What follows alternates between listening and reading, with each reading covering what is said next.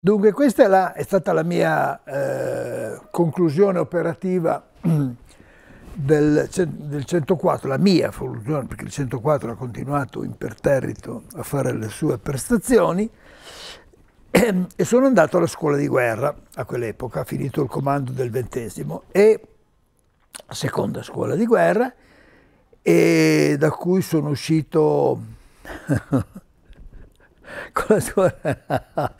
Con la scuola di guerra devo raccontare anche questa, bisogna, perché fa parte della, della gioia di essere piloti del ventesimo gruppo. Allora, il mio adorato comandante Scerna, oggi mancato, poverino, era, era, era disperato perché io eh, sapevo che a conclusione, si sapeva, io dovevo andare scuola, a fare il corso di scuola di guerra superiore alla fine del mio comando e, e, e, quindi ero entrato nell'ingranaggio della scuola di guerra di Firenze eh, con largo anticipo. La scuola di guerra è incominciata dall'estate, la scuola di guerra incomincia l'autunno, qualcosa come ottobre-novembre.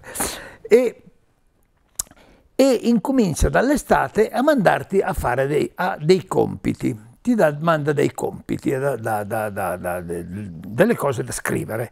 Io una scuola di guerra l'avevo già fatta, il corso inferiore, che era molto più tecnico, molto spiega, insegna a fare le relazioni, quelle robe lì. Insomma. Sopra invece è un pochino più filosofico, avevi dei professori del tipo Gianni Agnelli, venivano gli ambasciatori a insegnarci, a, far, a tenerci le lezioni, gli ambasciatori della Russia, gli ambasciatori della Germania, gente a cui si potevano porre delle domande veramente serie. Ed, erano, ed era un bellissimo corso, quello della scuola di guerra, che incominciava fin da prima perché questi colonnelli, io quell'epoca lì ero diventato colonnello e quindi, eh, non so, c'era, Lucianino Meloni, Luciano Meloni era il capocorso del, del Marte prima di me, erano queste rocce, questa gente veramente eh, in gamba che aveva fatto. Noi, io ero un, un poverello operativo che mi, mi, ero sbattuto tanto da operativo, ma insomma non avevo fatto quelle pubblicazioni poi pubblicate che, lasciano traccia come fanno quelli della scuola di guerra vera. Io non l'avevo fatte e, e quindi mi mandano da fare dei compiti a casa prima di, andare, di finire il mio anno di comando e quindi poi andare alla scuola di guerra. Questo compito non me lo ricordo a memoria, ma era un commento filosofico barra estetico delle, eh, come si chiamano, le, eh, le bolle papali recenti eh, di eh, argomento sociale.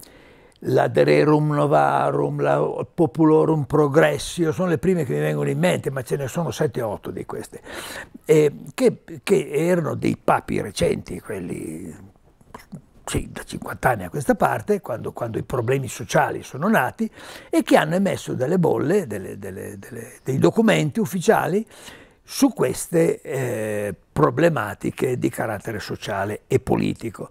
E la, la, scuola di guerra ci ha mandato sta roba, ha mandato a me sta roba, ma l'ha mandato anche agli altri sta roba di preparazione per togliermi un po' il, eh, ecco, il, le giunture, togliermi la ruggine dalle giunture e fare una dissertazione di carattere così. In, io avevo vissuto e stavo vivendo durante il, il mio comando del ventesimo gruppo le pene dell'inferno che ho appena detto per riuscire a portare avanti in maniera onorata il, eh, il mio compito di comandante che ho portato perché non abbiamo mai avuto guai di nessun genere e, la, dicendo grazie a tutti fra l'altro.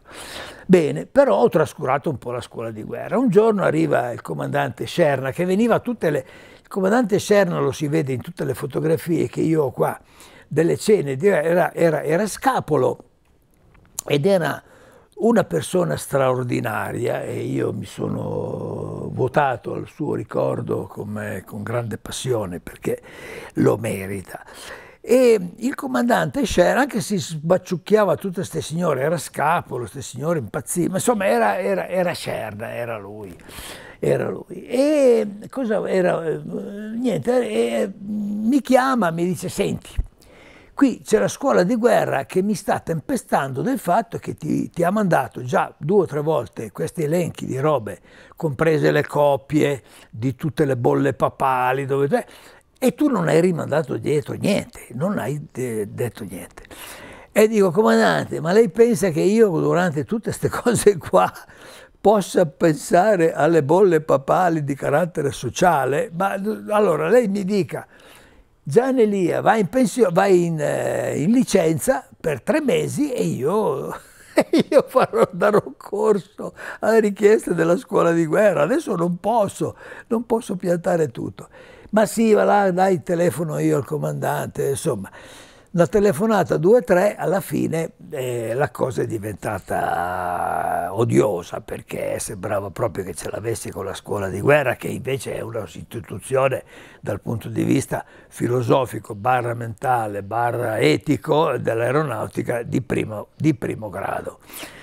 Ecco, e, e, allora mi è sovvenuto, io, di, di, mi è sovvenuto di mio mio zio, zio Siro, perché zio Siro era un filosofo nella mia famiglia, acquisito, perché io, nella mia famiglia sono tutti professori di matematica, fisica e chimica. E allora, e allora questo qui era filosofo, ma noto, nel senso che tutti i libri di filosofia riportavano gli scritti, le cose di zio Siro. Benissimo. A me sembrava un po' così, insomma, e dico, ma vuoi vedere che riesco a sfruttare zio Siro? Gli mando le bolle papali e mi faccio fare il commento da zio Siro.